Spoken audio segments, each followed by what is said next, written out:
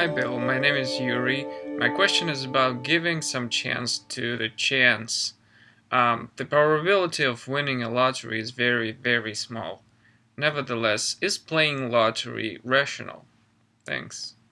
The lottery, Yuri, Yuri, Yuri. I've got to tell you, when I first, I, it doesn't sound like you're in the U.S. I grew up in the U.S. And I lived in Seattle, Washington for a while. Now, Washington in the United States is a western state has old traditions, and the big thing is it's not as populated as other states in the U.S. And there was a lottery. There is a lottery. And I used to think it was kind of charming. If people wanted to play the lottery, okay, you know, that'll be fun for them. The chances of winning are very, very small, extraordinarily small. Almost everyone who ever plays ever loses. And I used to think it was benign or not any big deal, but I have changed my mind about that over the last 30 years. The lottery is mostly a tax on people who don't know math.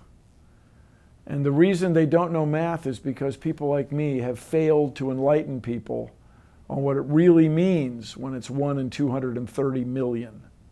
It means you will lose. That's what it means. If you have a 1 in 230 million chance of winning, it means you will lose. And uh, when I was doing stand up comedy, I used to have a joke, a joke, about having a revolver, a gun, where the bullets are arranged in a circle. I don't know your ancestry, Yuri, but you might be from uh, one of the Eastern Bloc countries in Europe.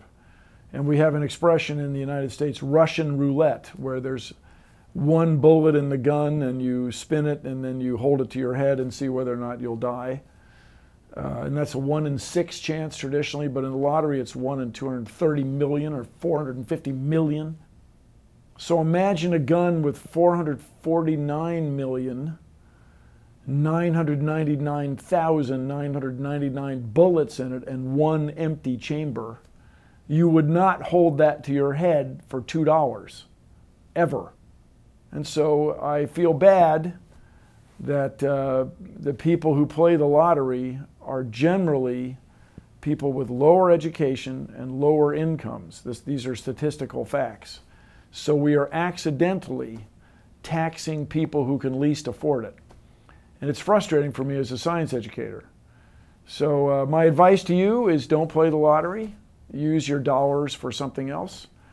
And if you do play the lottery, uh, I understand you get some pleasure out of it, but keep in mind you almost always lose. And wait, there's more to it. That it preys on this other aspect of human nature where we embrace the successes and forget about the losses. This is how psychics make their living, palm readers, and so on. That you remember when they accidentally said the right thing and you forget when they said dozens of wrong things. So people win, they, they bet a dollar and they win a $5 lottery ticket, $5 reward.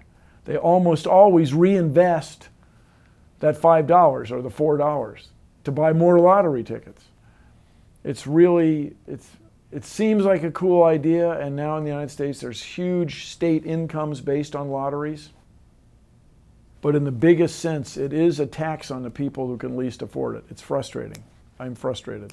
Thank you for asking that question, Yuri.